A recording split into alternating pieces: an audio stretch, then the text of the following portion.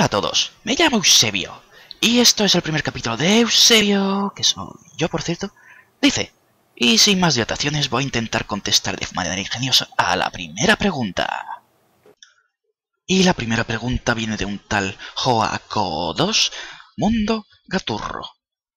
Hola Eusebio, mi pregunta para Eusebio dice es, ¿cómo comprarías una hamburguesa teniendo un cuerpo de muñeco?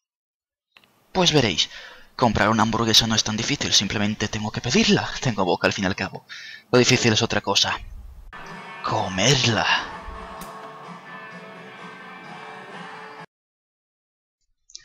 No preguntéis.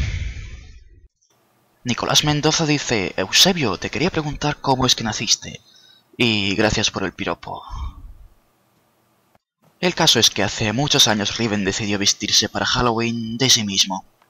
Y Así nací yo, me hizo. Aparecí de la nada. Curioso, ¿verdad?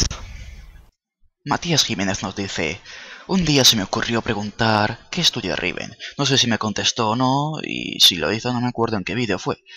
Así que mi pregunta es, ¿qué estudia Riven? LOL. Riven es una nenaza y estudia administración de empresas, cuando los hombres de verdad estudian... No estudian, se van a la mili.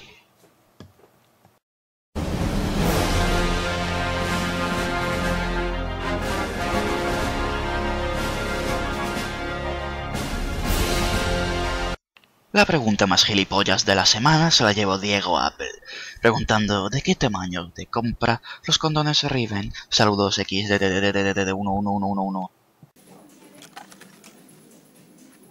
Muy buenos.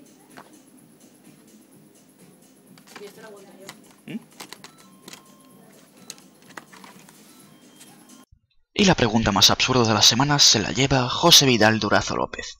Hola Eusebio, mi pregunta es la siguiente. ¿Se puede hacer una explosión nuclear de 20.000 gigatones que amenaza la existencia de la Vía Láctea usando una goma de mascar, un botón y un clip de aluminio? Un saludo cordial.